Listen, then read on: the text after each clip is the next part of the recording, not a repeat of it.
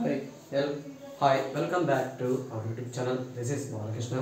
In this video, I am going to explain class 8, chapter 11, mensuration, exercise 1.3, question number 6. Okay, before go to video, please subscribe our YouTube channel and share to your friends and click the bell icon. Okay, so here, what the question? Describe how the two figures at the right are alike and how they are different. Which box has lat- larger lateral surface area? So here two boxes are there. One is cylinder and another is cube. So which box having lateral surface area? Larger lateral surface area. So first here given the cylinder and the cube. So for cylinder, the given the measurement is diameter of the base is 7 centimeter and height of the cylinder is how much? 7 centimeter. So here cylinder. So base of the cylinder, diameter of base of the cylinder, how much given? 7. So D is equal to 7. So diameter is nothing but the larger chord of the circle is called diameter. So diameter is 2 times of radius. So that is here 2r is equal to 7. r is equal to 7 by 2. So the radius of the base of the circular cylinder is how much? 7 by 2. So here height how much is given that? 7. So lateral surface area of cylinder is what the formula 2 pi r h so lateral surface area of cylinder what the formula 2 pi r h so that is a 2 into pi into by 7 r 7 by 2 h 7 so 7 7 cancel 2 2 cancel. 22 7 yeah, how much? 154 centimeter square. So lateral surface area of cylinder is how much? 154 centimeter square. Next cube. In the cube the cube is in the shape of the cube having three dimensional so length breadth height are same each face is square shape so lateral surface area of cube is 4a square lateral means except bottom and top remaining surfaces so lateral surface area of cube is equal to 4a square. A is the what? Side of the cube. So here length of the cube, breadth of the cube, height of the cube all are same. So that is equal 4 into 7 square. That is 4 into 49. So 4 9 ja 36. 4 4 ja 16. 16 plus 3 90. So 196 centimeter square. So which box is having larger area? That is cube box. So lateral surface of cube is 196. Lateral surface area of cylinder is 154. So that is in these two, which is the largest cube? So cube box is larger than cylinder box. Cylinder box. Next, one.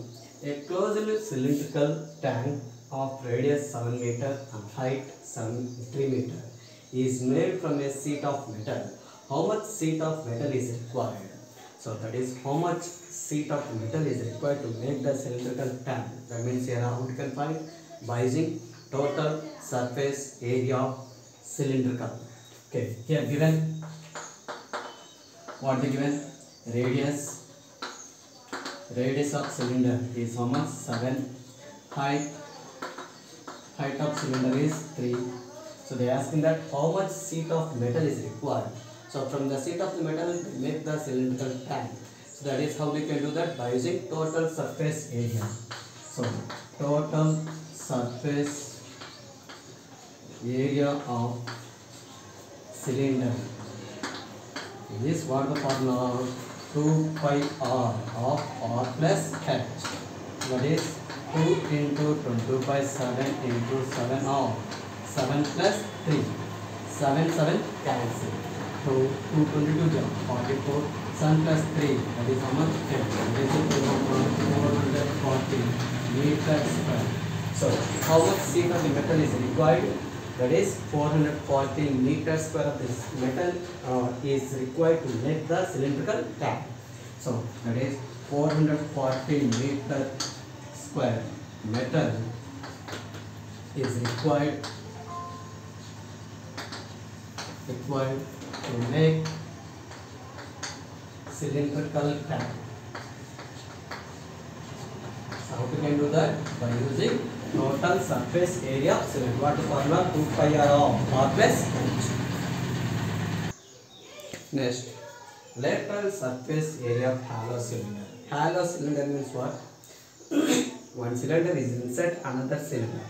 Okay, the smaller cylinder is inside the another cylinder. That means in the top there is concentric circles, in the base also concentric circles. So here, we given that the lateral surface area of hollow cylinder is 4224 centimeter square. Is it is cut along its height. So the cylinder is cut its height to form a rectangular sheet width of width 33 centimeter. Find the perimeter of the rectangular sheet. Okay, so here lateral surface area of hollow cylinder is equal area of rectangle by using uh, by using the question. Okay, here given that here we know that we know that lateral surface area. Is equal area of rectangular uh, sheet area of rectangular sheet so here we don't know the length that is x they given the breadth width 33 so that is equal 4224 is equal here x into 33 so this 33 is going to sort of divide. So that is by 33 is equal x. Okay. So here the lateral surface of hollow cylinder. Okay. It is cut with the height to form a rectangle shape. Okay. So then it is forming. And then the area of this lateral surface here is equal area of rectangle. So here 11 4224 is divided by 33 that is 33 1 jar 33 so here 92 32 33 2 jar 3 jar 99 2 jar 66 6 2 4 8 jar 264 so 33 1 jar 33 128 jar so length is how much 128 centimeter so length of the rectangle C is equal to how much? 128 centimeter. They asking that perimeter. So perimeter of sheet is equal what the perimeter of rectangle C?